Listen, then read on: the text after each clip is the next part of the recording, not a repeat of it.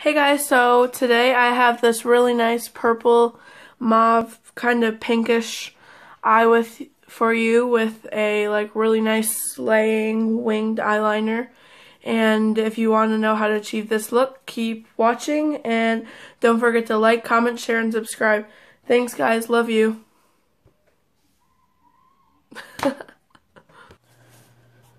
hey guys, so here I'm taking my Too Faced Shadow Insurance eyeshadow primer. And I'm just priming my eyelids with this all over both eyes.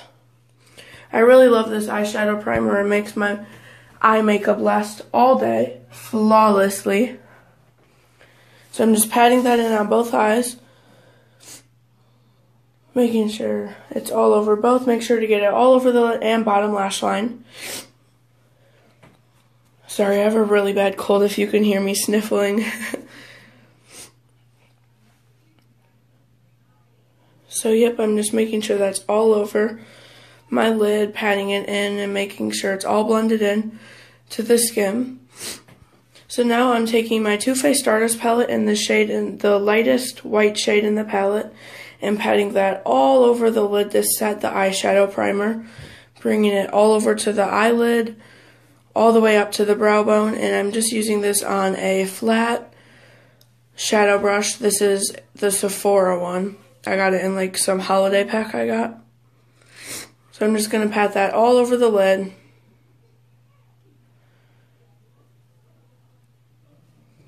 And now I'm taking that in-between shade, in between the darker shade and the lightest shade on the top row, and just building this up in my crease as a transition shade on my IT Cosmetics Flawless Crease Brush, and just blending that into my crease to add a really nice warm transition color for the other colors we're going to go in with. I really love this eyeshadow palette. Um, I'm sorry if you guys, I'm sorry if it's still not available, but it was like a holiday collection. But you could always substitute these shadows. So I'm just building it up in both creases, making sure it's even, going back in, and just redefining, making sure both eyes are even and look nice.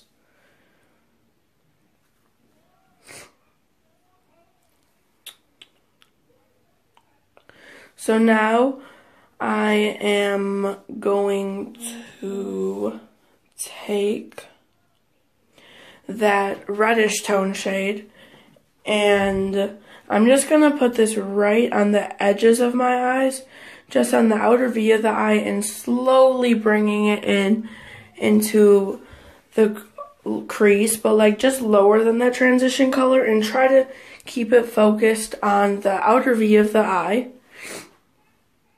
Just like that. Just make sure it's focused on the outer V of the eye and don't bring it in too far because this is just going to add really nice depth on the outer part of the eye and make your eyes look really nice and kind of contoured.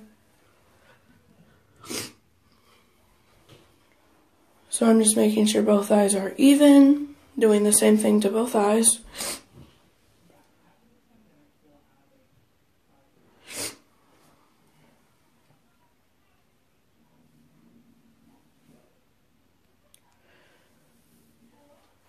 So I'm just doing the same to both eye, making sure it's only on the outer V of the eye. Making sure both eyes are even and flawless.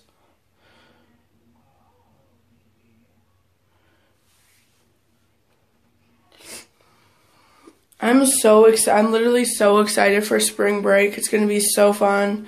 Um, we're going to plan a couple vacations. And yeah, so excited for the nice weather to hopefully finally come.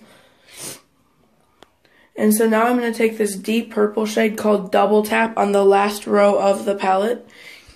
And I'm just going to put this right in front of that last color we put in the outer V. Just put this right in the outer V corner.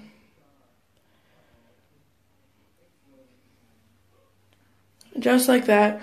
This is really going to add some like really nice purple depth and tart like start kind of working into like that like plummy pink pearl look we're going for.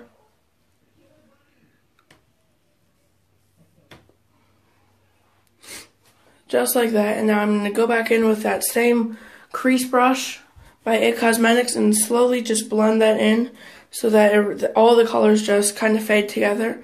Now I'm taking the shade Pink Pearl. It's this glittery pink champagne color and putting this all over half my lid. And just until you reach the outer V, this is really going to add some really nice shimmer to the look.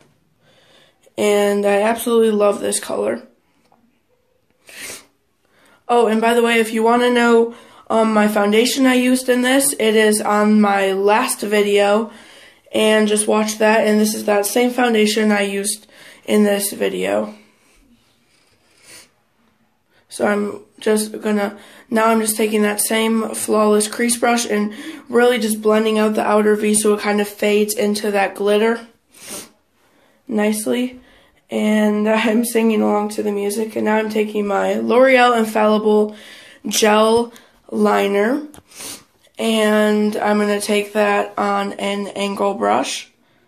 And minimal product is the key and I'm just going to start creating that fierce winged eyeliner that will go perfect with this look. And of course you could just stop here and put some mascara on, but I wanted a nice winged eyeliner to go with this look to add some drama and fierce and make it like the eye look really fierce and nice because this is a pretty high glam look. So I'm just building that winged eyeliner. Today I went for more of a dramatic wing. And now I'm just going over it with my Kat Von D liquid liner and I'm just going over the gel. And I really love this because it really makes it look nice and really smooth. And it's just the perfect trick for smoothing out the gel liner. And this one is really black and it's Trooper in the ink liner by Kat Von D, and it makes it really black and it really makes it stay all day long. So I'm just connecting that from I'm just connecting that from the wing to the inner corner of the eye like this. And I finished my makeup and here is the finished look.